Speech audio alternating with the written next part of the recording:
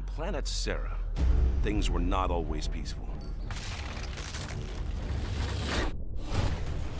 For year after bloody year, human settlers fought each other in the Pendulum Wars, a brutal struggle for control over a new energy source called Imulsion.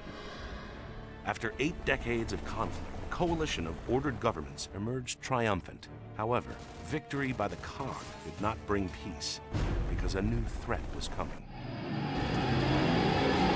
Just six short weeks after the end of the Pendulum Wars, Locust! the vicious Locust Horde erupted from underground caverns, slaughtering everyone in its path. Locust troops have breached the courtyard. We're on it! What became known as Emergence Day was the start of a new conflict, one for which the human race was in no way prepared. Imagine that. Serving as a gear in the COG army, Sergeant Marcus Phoenix became a fixture on the front lines of the Locust War and a legend to other gears. Well, that's one thing we agree on. For 10 years, Phoenix fought in battle after battle. His stature only grew when he was imprisoned for disobeying orders after a futile attempt to save his father, Professor Adam Phoenix. I've come to get you out of here. I've got to save my research. Four years later, a desperate cog put Marcus back on the front lines. Welcome back to the army, soldier. Humankind was losing ground every day. They're flanking! Only one stronghold remained the capital city of Jacinto. Then, on a mission into the heart of Locust territory, Phoenix made a shocking discovery. The Locust Horde was actually fighting a two front war. Exposure to the Imulsion energy source had transformed ranks of the Horde into a new threat the Lambent.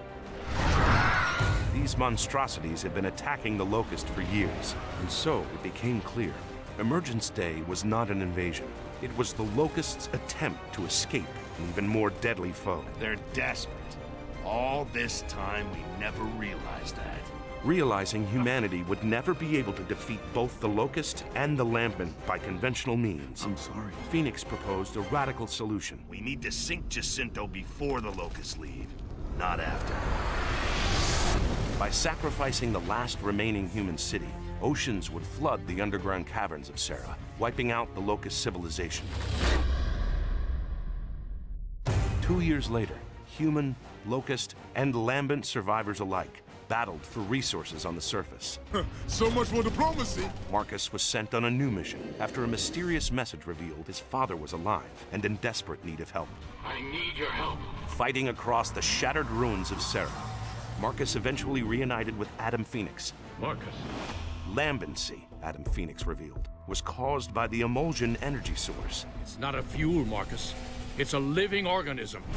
And so Adam Phoenix had developed the ultimate weapon, a countermeasure that would eradicate Imulsion and the Lambent threat, and in the process, end the Locust once and for all. There's too many! Hold them off! Just hold them off! In a brutal final confrontation, Marcus Phoenix fended off the vicious Locust Queen as his father readied humanity's last chance at survival.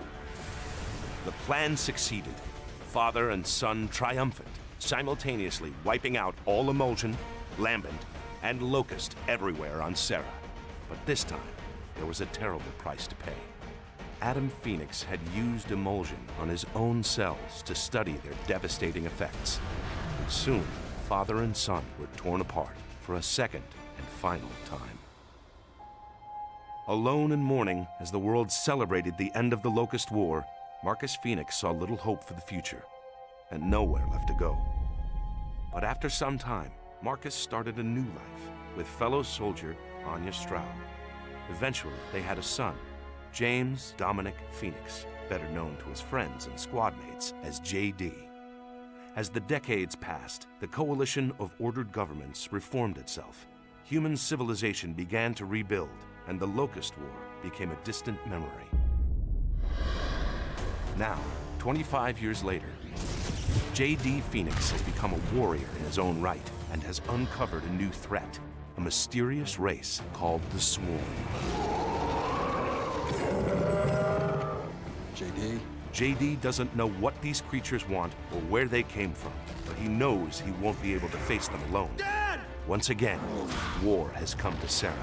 Once again, a phoenix will rise to fight it.